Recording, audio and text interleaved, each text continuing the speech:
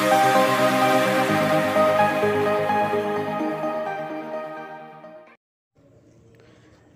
Wong, kembali lagi di channel Ahmad Afandi Hobi Bonsai. Pada video kali ini Wong, sampean akan saya ajak mengikuti kegiatan saya.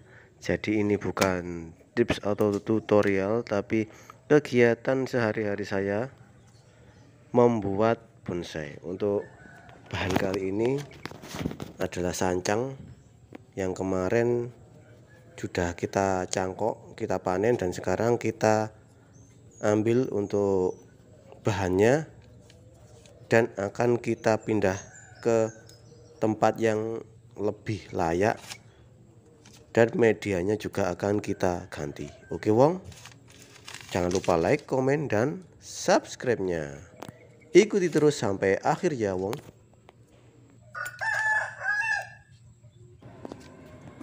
saya akan menceritakan sejarah dari bahan bonsai ini ya Wong untuk bahan ini sendiri berasal dari cangkokan juga. Kemudian saya tanam semi ground ya Wong yaitu menaruh atau menanam bahan dalam wadah tapi kita taruh di atas tanah. Jadi akarnya akan ke tembus ke tanah dan itu akan kita biarkan. Jadi akan mempercepat pertumbuhan dari bahan bonsai tersebut. Bisa sampai coba wong ya? Dan ini baru dua atau tiga bulanan wong ya.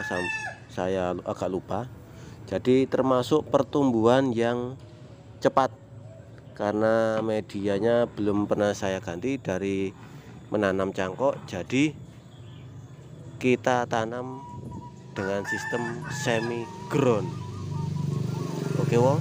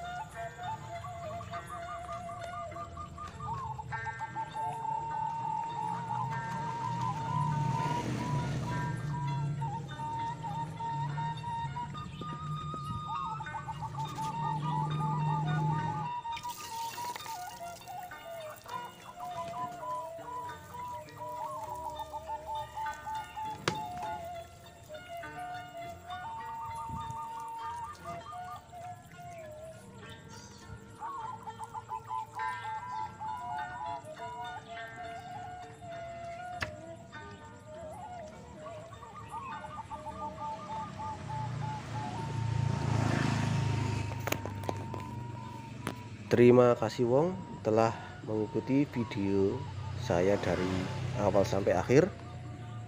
Dan inilah hasilnya.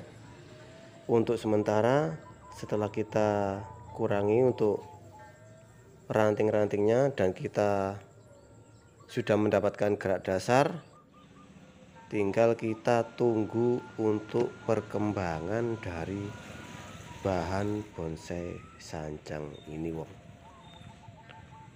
oke wong sekian dulu video dari saya.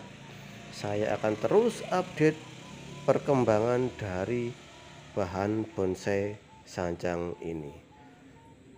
Jangan lupa like komen dan subscribe nya salam satu hobi hobi bonsai. Wassalamualaikum warahmatullahi wabarakatuh